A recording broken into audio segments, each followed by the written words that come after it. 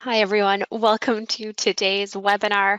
We're going to be discussing uh, an introductory workflow for RoadEng uh, software to allow you to do rural road design. If you haven't been to a webinar before, my name's Erin. I am one of the main webinar presenters here at Softree, uh, and with me is our uh, one of our resident webinar uh, core presenters, uh, Matthew Dickey. So today we're going to be discussing actually not one, but two workflows for RoadEng. Um, the first is going to be a conventional workflow for leveraging the software. Uh, and then the second, we're going to kind of repeat the whole process to help you see some of those steps again, but also let you see the impact um, of adding some of the optimization steps uh, that you can do to just help with efficiency as well as earthwork cost savings. So if you're not too familiar with RoadEng, uh, RoadEng is a geometric uh, corridor design software. Uh, it's a standalone program. There's no CAD software needed, uh, but it is modular. So there's two modules inside of RoadEng that we're going to take a look at today. The first of those modules is the terrain module. This is where we build our surfaces for our original ground. Uh, and if you're also doing some things like site design, uh, grading, that's a great place to do it.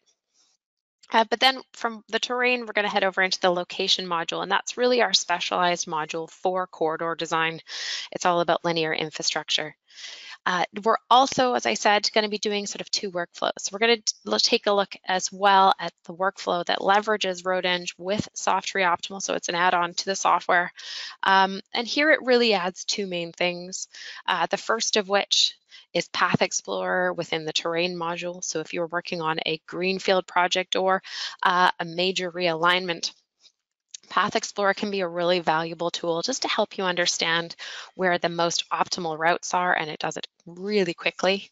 Um, and then from there, we'll also take a look at uh, how you can leverage vertical optimization within that same workflow to really help you sort of automatically balance your mass haul, uh, generate really quick profiles, and then turn in a preliminary alignment into a horizontal alignment with curves exceptionally fast. So we're going to take, as I said, two workflows. Uh, let's discuss the first of those. So a conventional workflow in RoadEng. So you start by importing your topo data. This topo data can be in a variety of sources. Uh, it basically needs to be some type of, yeah, terrain, digital terrain data with elevations, elevations being the key piece. Uh, so we work with LIDAR, DEM, GeoTIFF, uh, con true conventional survey data from like a total station. And, uh, today's example uh, is going to be all about LIDAR, uh, just because it's really fun and easy to work with. But we do work with all those other sorts of data types. So in the core workflow, after you've imported your data, uh, you're going to create a TIN model. So a TIN model is basically just asking the software to connect all the survey points uh, with uh, a triangular irregular network. That basically builds the surface. Uh, within that TIN model, for if you're working with conventional data like total station, you can define things like strings or break lines in order to influence how that TIN model looks. Uh, we typically don't do those types of steps inside of uh, working with LiDAR, but uh, they are there for, for working with conventional data. So with a TIN model created, we do have the ability to add within the terrain module itself some additional spatial data. That could be calculating your streams and ponds. That could be adding in a background ortho image or you could import additional spatial data uh, in shape or KMZ format just to add and augment to your model. So from there, uh, we save that as a terrain file. So this is again, we're modular. So this is kind of module one. We've got our original ground. Then we move over to the location module where we're going to set up a new location file uh, and we're going to reference that topo surface that we just saved. So we're going to reference the terrain file. We'll set up our cross-section template uh, and Matt will talk a little bit about this, but cross-section templates, uh, you're not creating them from scratch from the most part, just leveraging the existing components, adjusting, say, a road width or, or the, the different sort of elements within those little mini programs uh, to be the way that you would like it. So we'll set up that cross-section template. We'll create our horizontal and our vertical alignments through clicking in IPs. We'll leverage the curve panels to add in our curves. manually balance our mass haul. So again, this is where we can take those alignments and make adjustments, especially in the profile, uh, in order to balance our mass haul and add culverts. Uh, and the final step from there is quantities output. Now, this is a really simplistic workflow. We're just trying to give you the foundational understanding of how the software works.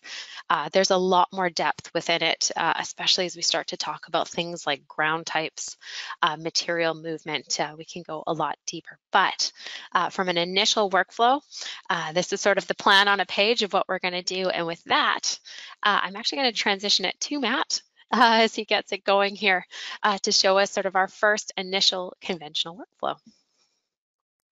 All right. And Matt, as we present to you, uh, a reminder to our audience, uh, please ask us questions anytime throughout the presentation. Type them into the, the Q&A part of your GoToWebinar panel. We'll be happy to answer those at the end. And finally, uh, if you're on YouTube, uh, first off, feel free to like the video. And secondly, you can ask questions there too. Happy to answer them. Perfect. All right, well, I'll dive right in and we'll go through that conventional workflow that Aaron introduced. Um, and as Aaron introduced, we're gonna start in terrain. So just opening up the terrain module.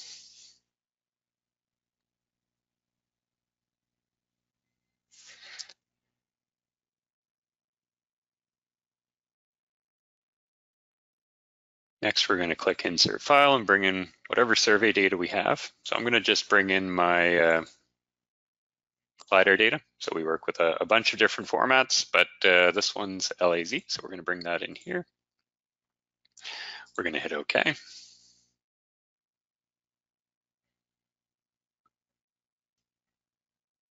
And we can see that point cloud being added in. I'm just going to click off to the side so we don't have to wait for it to draw. Those points are still in our model. We can see we've got 2.6 million points. And we'll use those points to create our TIN. We'll go up here, we'll click generate. We have the option whether we generate contours at the same time or not. We will.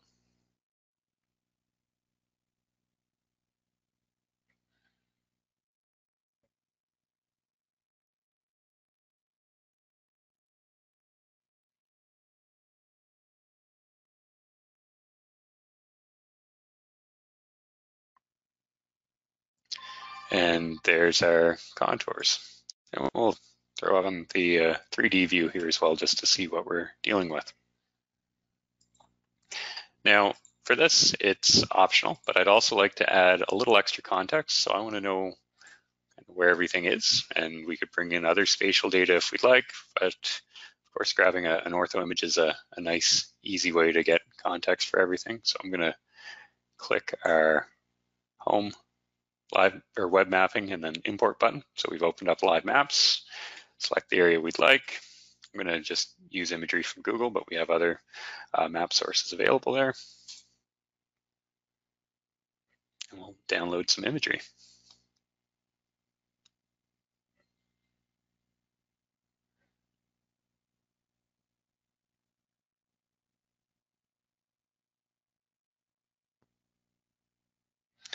And let's put that in the same location as where we're going to be working out of.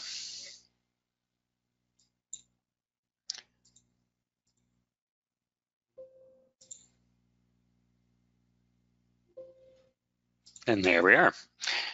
And another uh, optional item, I want to do it though, uh, is uh, of course where the water is is an important consideration. So we're going to use our hydrology tools. We're going to use our streams and ponds tool to generate uh, a bunch of well, stream and pond features based off of uh, accumulated flow area. Uh, the ponding areas may not necessarily be true ponds, and it's just depressions where water is expected to, to lie. So we've got our topo, we've got contours to add some context, we've got an ortho image, uh, we've got our streams and ponds, and keeping with that conventional workflow, we're gonna just save this. And we're gonna switch over to location.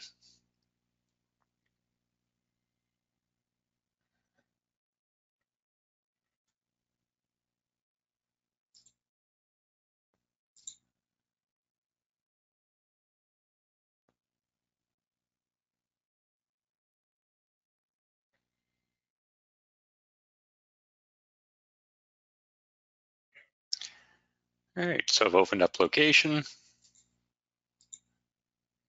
And click new. I'm going to reference that topo that we've just saved.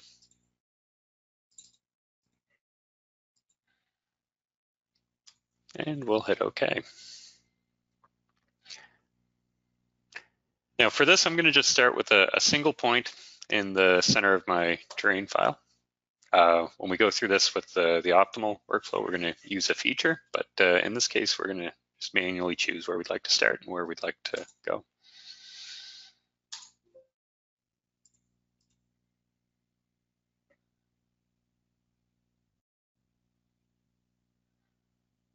And there we are. So to start, we can see our topo file. Now that image that we've downloaded is a, a background image. So we're gonna add that in our plan view. So I'm just right clicking in my plan view, clicking plan options, and I'm gonna go into my backgrounds and I'm gonna click add.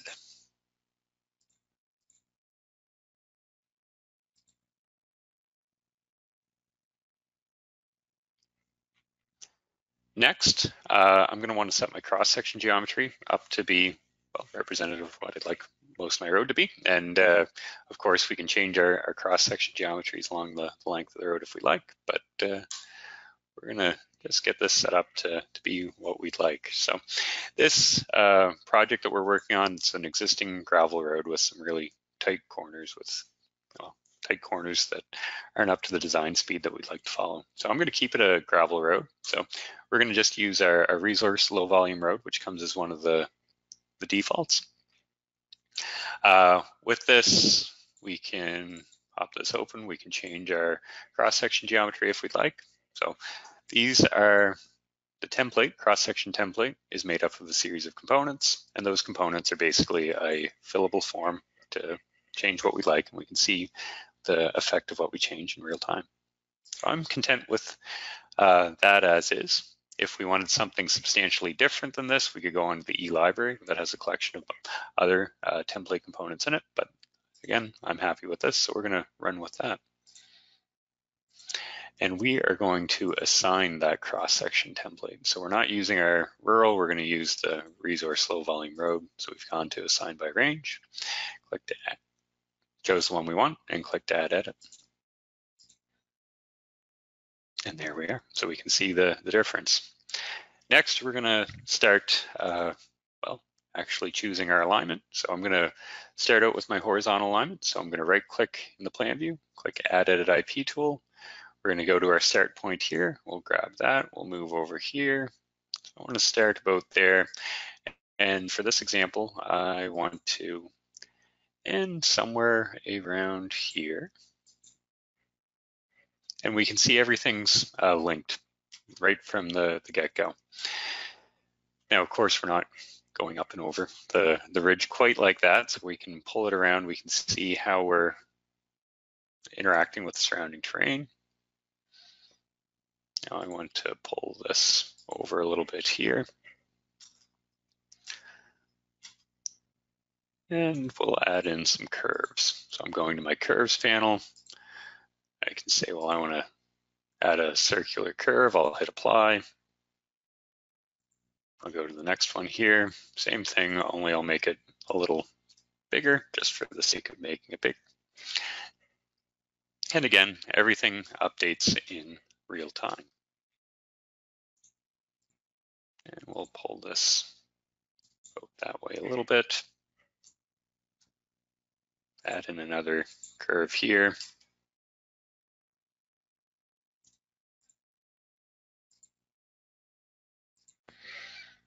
And we'll start doing the same to our vertical. So I'm going to go to my profile view, so my long section, click add edit. I'm going to add in a vertical IP at the end of my section that I'm realigning. We can pull this up now this graph down here is my mass haul, so I'm keeping track of that as we go here. And I'm going to try to keep my grades under 12 and I'll add in some vertical curves here as we go. So sure, let's set that.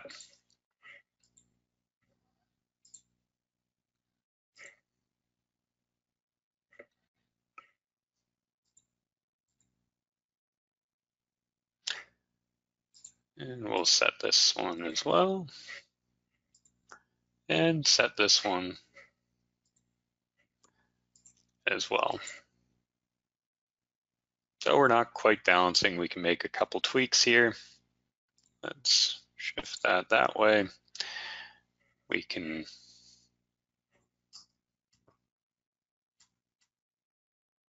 move this out a little bit here if we'd like, so we don't have to just balance with the, the vertical. We'll add a, a really subtle curve in the midst there.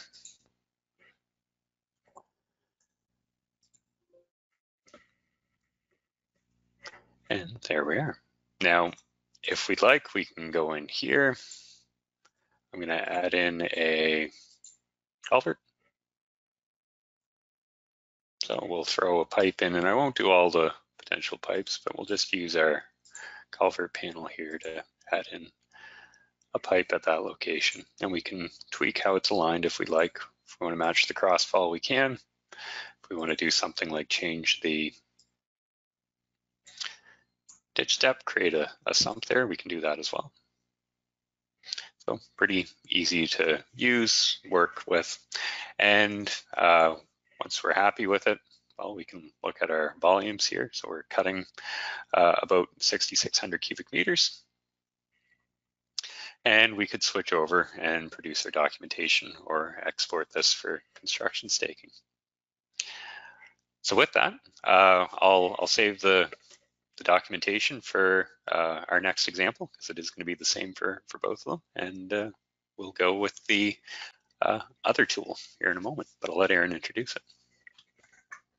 Perfect. So that was uh, in about 10 minutes, a really quick introduction to a basic rural road design workflow in RoadEng.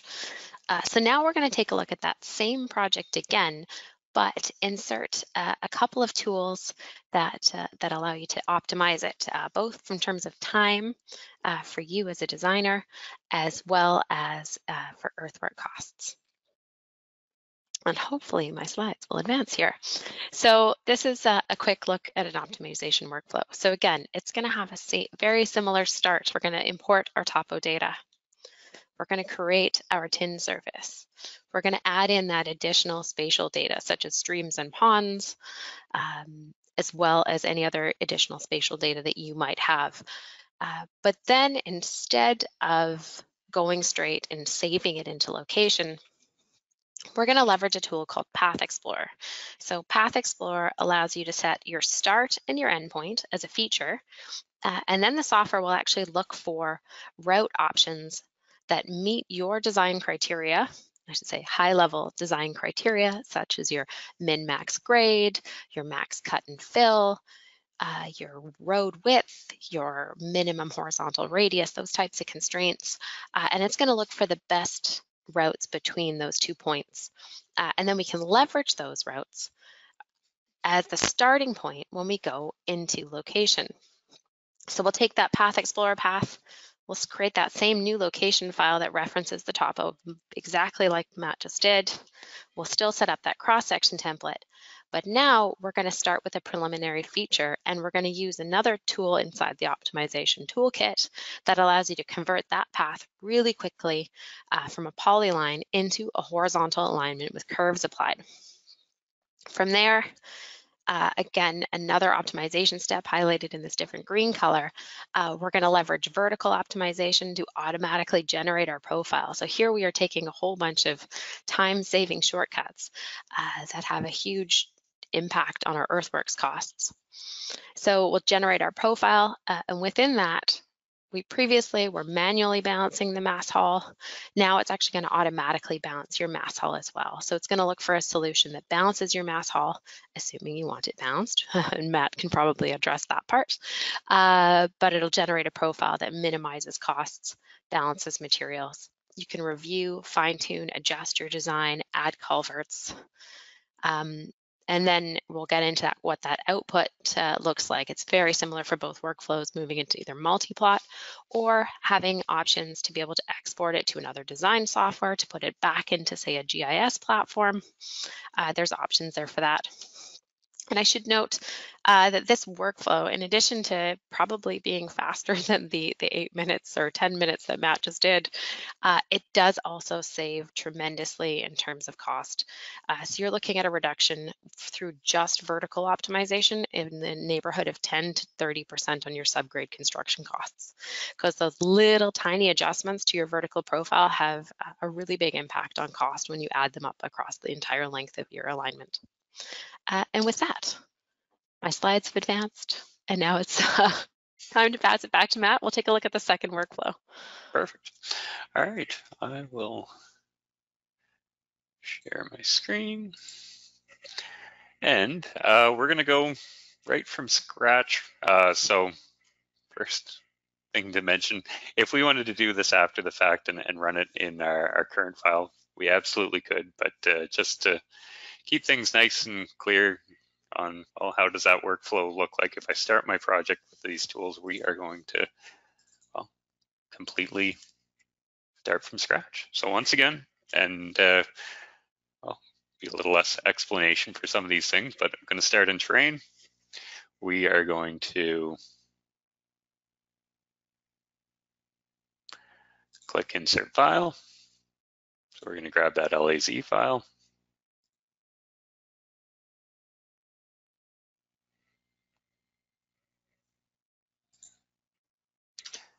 So we've got that. We're going to create our uh, tin, also create our contours.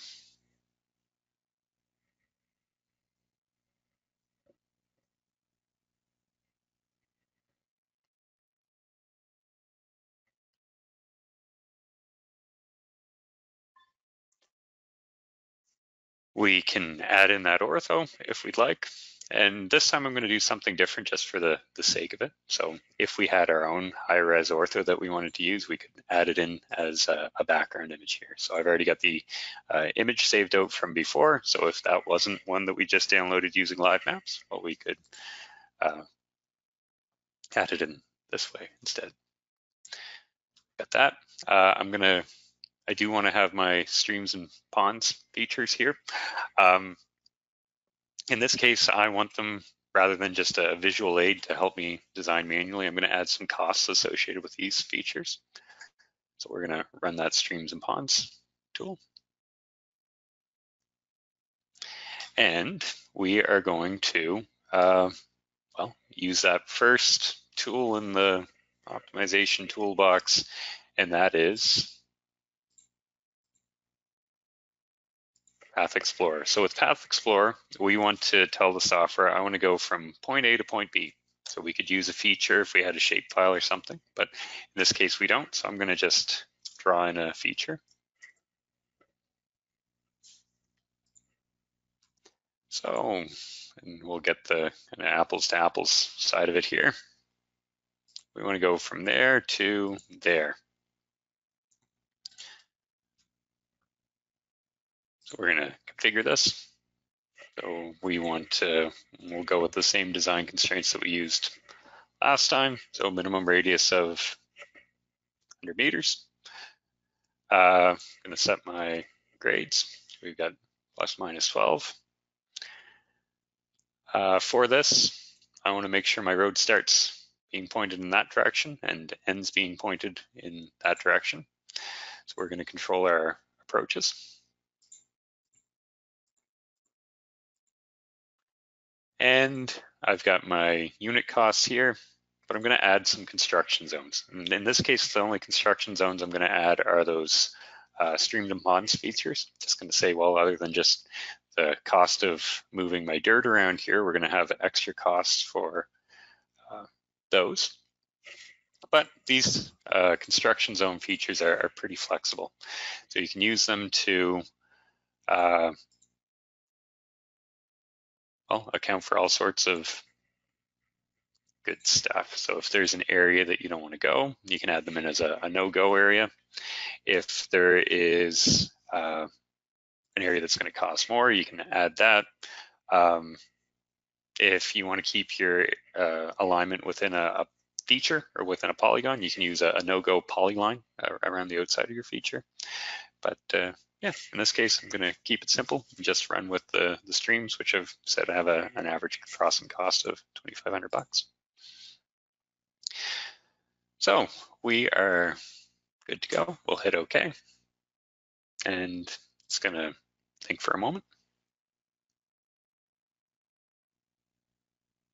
So it's five, found five paths, still searching for what it thinks is the best solution given the parameters we've given it.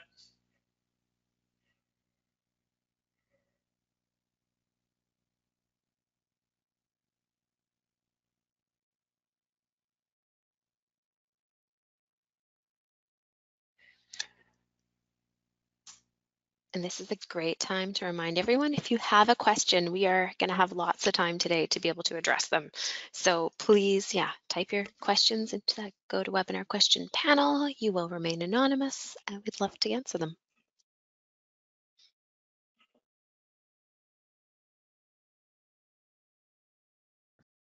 And yeah, this uh, is taking, shouldn't take too, too much longer here, but it is narrowing and exploring a bunch of uh, different solutions. And now it's saying, well, unlikely to improve further. So we'll hit cancel. And there we are. So we've got, well, five possible solutions. If we want to see how they're ranked, we can right click, select feature by name. And let's take a peek at this one here. So that's our cheapest. Given the parameters that we've run. So 85 versus 94. We are going to save this file.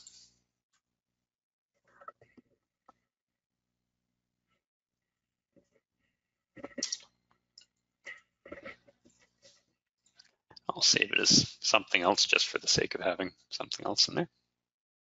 Oh, rather than uh, saving over the, the uh, terrain file that we just made and used. And we're going to switch over to location now. Once again.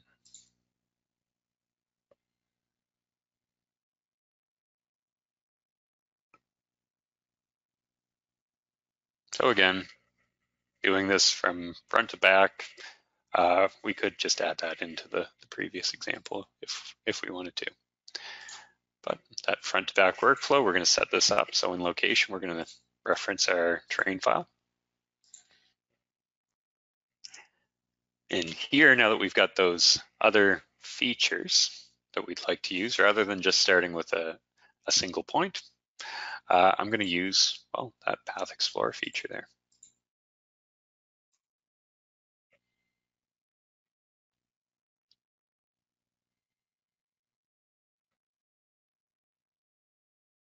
Oh, some of this remains the same.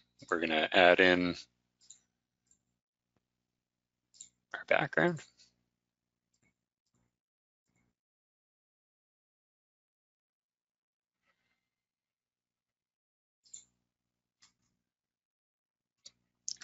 We're going to set our cross-section template to be what we'd like. Now, we've already talked about this. I know this is the one I want to use. I didn't even need to open that up. I could have just gone assign by range and that in.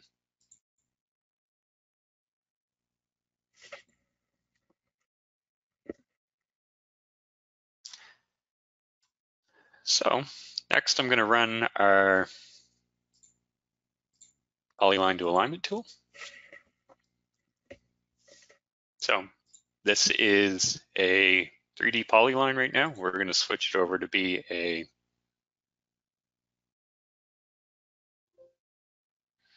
proper alignment.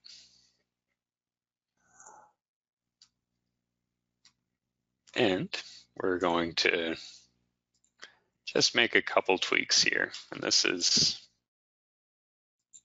one, we're gonna just adjust our approach there. So we're gonna add in an extra curve. So it was staying within that approach angle that we originally told it to, but we're gonna tweak that. And then same with here, uh, I'm just gonna well, adjust that to be a little closer to what I'd like. So I'm lining it up. And we can see what we're dealing with here. We can see while we're avoiding a lot of the, the gnarliness, Um, but we're still gonna want a proper alignment for our, our vertical. So we're gonna come in here, we're gonna tell this to sample. We'll set our design specs, which are already appropriate. We're going to add a control point at the start of the alignment. And we're going to add a control point at the end of our alignment. And we are going to click process and run our optimization. Um, now, one thing to note here too, if we wanted to, well, have a design that didn't balance, we could add pits and waste sites. Uh, we could add a, a, bunch of constraints like, well, full bench sections or minimum fill sections. But this one, we don't need any of that. We're going to just keep it simple.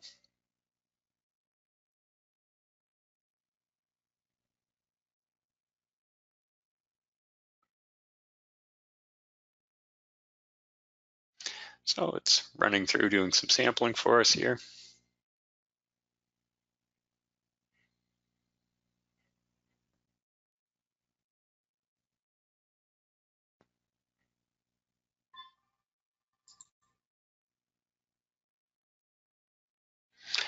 So there we are. And we've gone from having a, a project with our cuts in the 6600 range to, well, we're handing to that 4000 uh, cubic meter range. Once again, we can add in our pipes, which is the, the same as what we did in uh, uh, what we did in uh,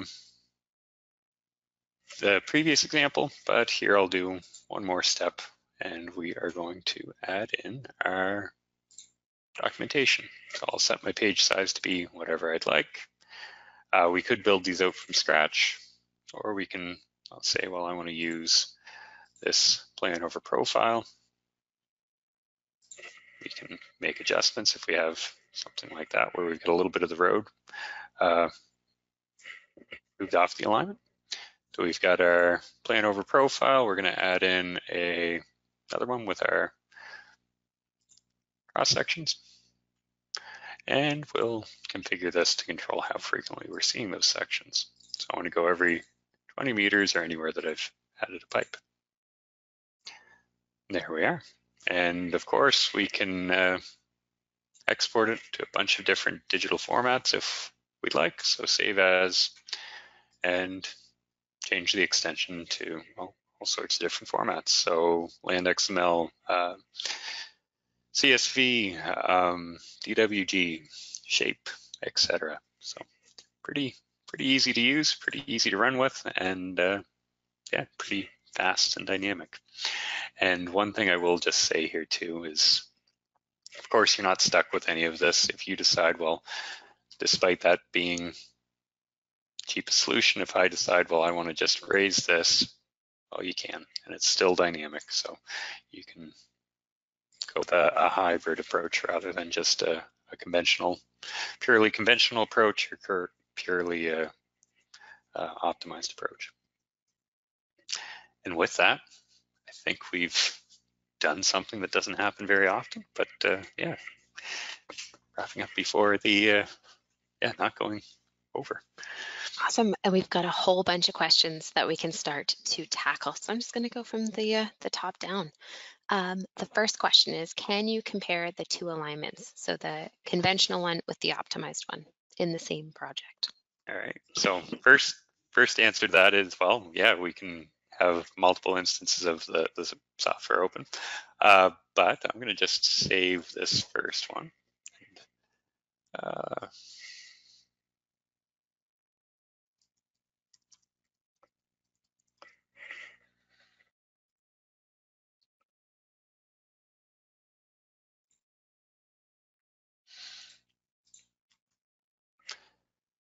So we can click insert file and I do this, but we're going to get a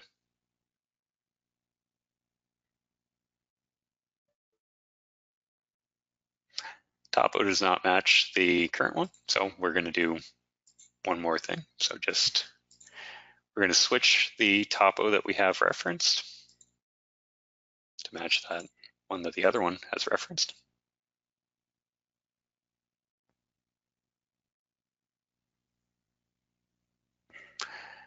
And now when we click insert,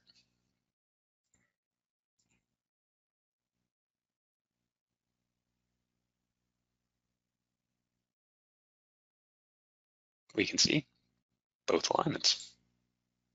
We'll do a quick recost. So there we are. We've got that one versus that one. One thing that I didn't mention, which is a, a useful thing for comparing, um, ground types, we can add costs associated with them. So I've got my uh, unit costs for different materials here, and I've got my movement costs. So I hit recost when I did my recalc, and now using those costs, we can compare the two alignments side by side, and I can see I'm, well, earthworks, I'm basically cutting it in half. So yes, we can add them in and do that comparison side by side.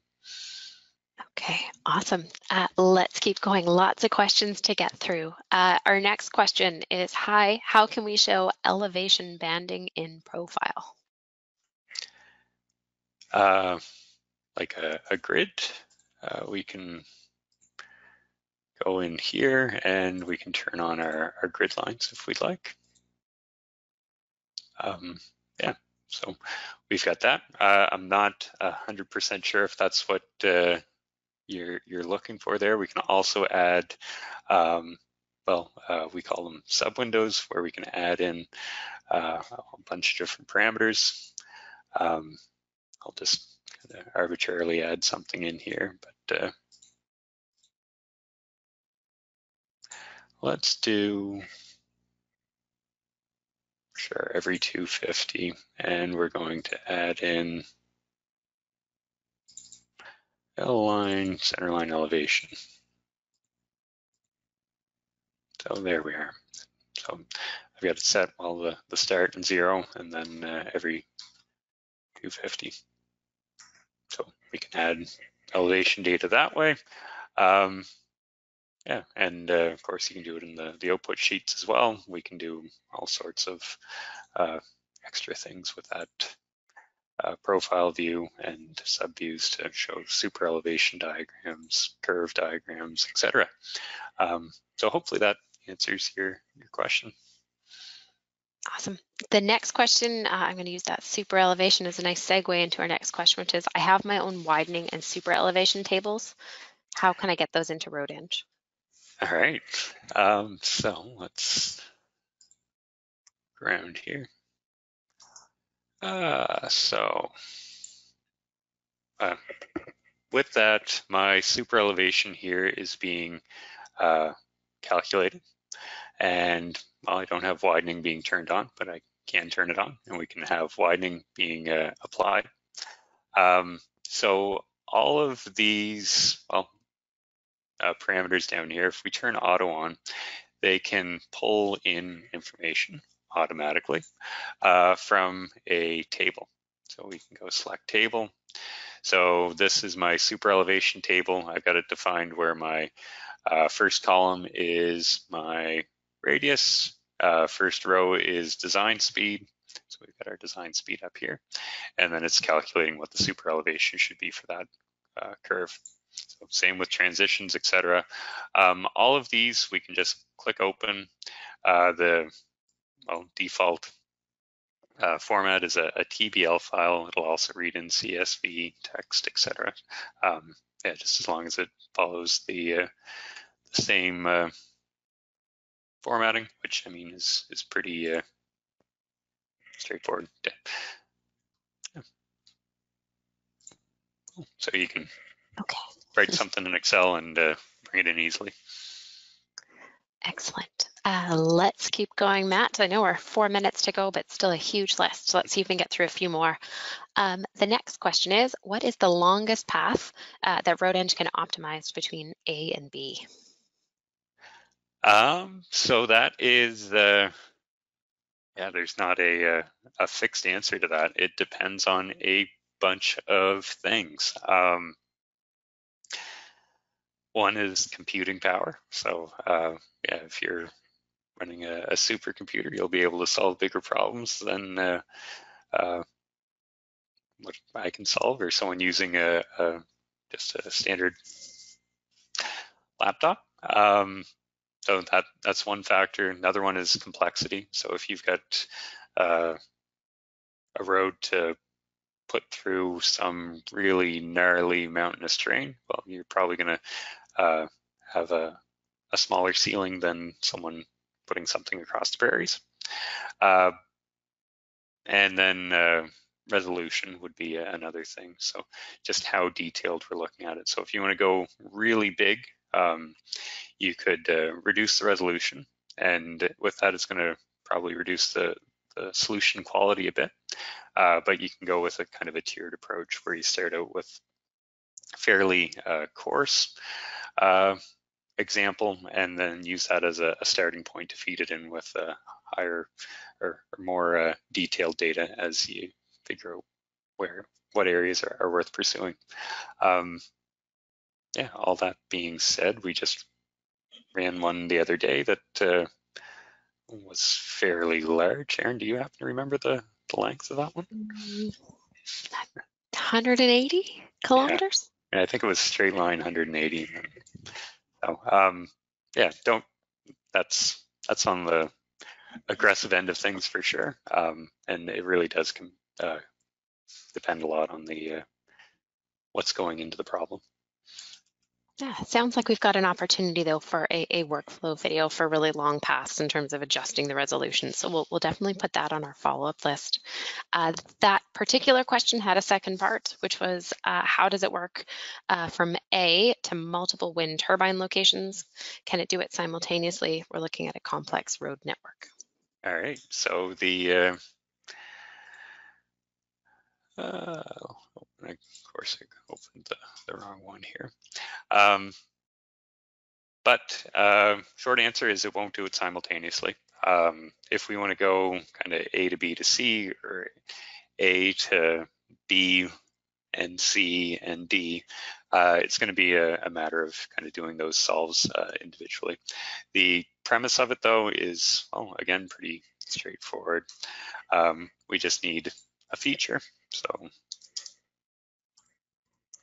B to C, we'll say in this case. So if we want to go from there to over here, uh, well, we can run that. So one, we don't want to remove those uh, existing points that we have. And then two, we're going to want to hem in our uh, well, start direction. And in this case, it just so happens to, uh, well, work out that it's the same as last time where we want to make sure it starts out pointing in that same direction that we're ending from our previous run and away we go. So yeah, pretty pretty straightforward. We do we do have uh, videos showing how to how to tackle that, but uh, yeah, pretty pretty manageable. Okay, let's do another Path Explorer question while we've got the terrain window open. Uh, with Path Explorer, can you provide any options that are off spec in the case that it doesn't find any options? Um, so I guess, uh, you know, might not be completely uh, following, but one thing that happens uh, when we run this uh, is it does a, a feasibility check really quickly. So if it's identified that, well, it's not a, a feasible problem, you don't have to wait for uh, minutes uh, for that to, to come back that it's not going to work. And then you can uh, relax your constraints. So with that, the uh, design parameters that we have in here are uh, firm, but we can do a sensitivity analysis. We can adjust things to uh, loosen those parameters if if something that we're we're looking at isn't uh, isn't feasible. Uh, another thing that we can do uh, related to construction zones, if we put in a, a big no-go area and it was kind of well, I really don't want to go there, but if I have to, I can figure out a way to do it. Um, uh, a strategy to deal with that is uh, rather than going with like no-go polygons and uh, polylines, we can add in a polygon or polyline that we add a higher cost to. And that cost doesn't have to be a real cost. It could just be used as a, a penalty to deter the, the road from going uh, where you don't want it to. But if it really has to go there, um, it will, and it'll eat that extra cost. Hopefully that answers your question.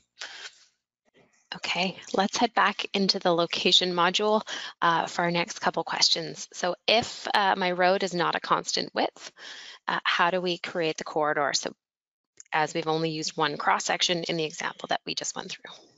All right, um, so there's a, a, bunch of different ways to tackle that. One, we could have uh, different um, templates, so we could create something that was wider uh, if we'd like. So, and with that, we could create something new here. Um, yeah, sure. I'll, I'll do it that way. Just I'll, I'll show a, a few different ways to, to tackle this. So if we want to go in here, we can, I'll create it. And I'm going to just leave it with that default name of XX0. But if it was a real project, I'd probably change it.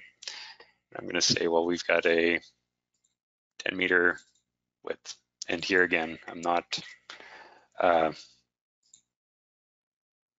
not going to uh, focus on making something really nice, uh, just something that's easy to see.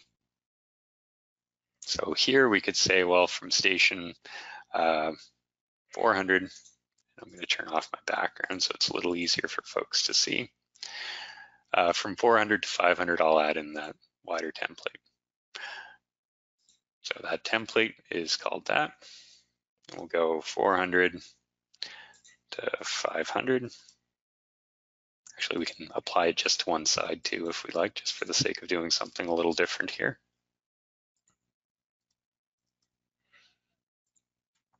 Oh. clicked, uh, clicked something and then uh, clicked back. Right, so we've got that in here. So we're running our default to 400, 4 to 500. We've got that real wide road, and then uh, apply just on the left side, and then we've got 500 after that. So that's one way to tackle it. And we could add in what would be called a taper to smooth that out.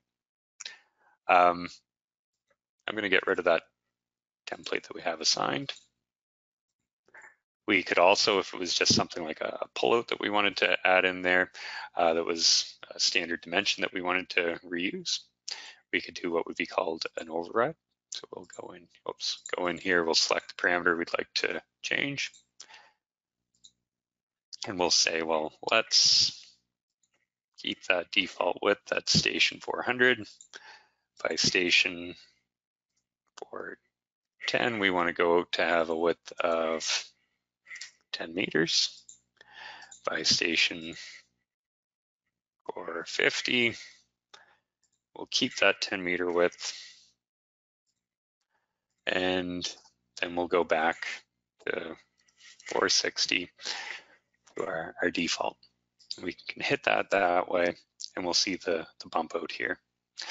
I really like doing it with the, the overrides as if it is a, a standard dimension, you can just say, well, I want to use that up the road a little ways at say station 500.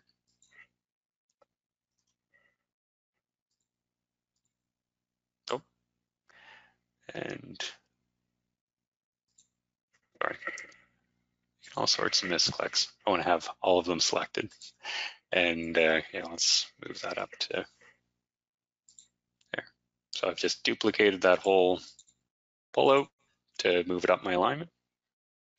And then the other way that uh, we could do it is if we had something that was really irregularly shaped, we could reference a feature or another alignment to define the, the width.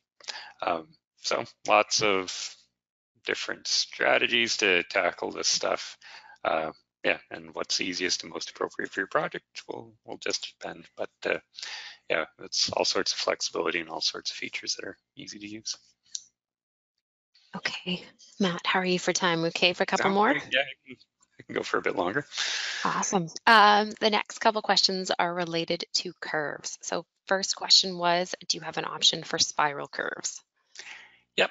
Um, so I can, if I wanted to make this a, a spiral, I, rather than assigning circle, I'll assign a spiral curve there. And we can see the start of transition and then the, the circular portion of the curve. So, yep. Awesome, like the easy ones. Uh, Next question is, can I, is there a way to remove all of my curves in a specific range? Yep. Um,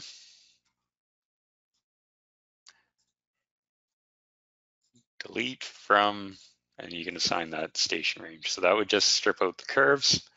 Uh, if you wanted to delete all your IPs, so curves and the uh, well, uh, tangent intersection points um, accompanying them, we can go with the corridor delete range, and then we could get rid of all points. And that's gonna, well, if we did it from start to end, we could delete the whole road. If we did it from just after the start to the end, we could, uh, well, basically uh, just straighten out everything in between.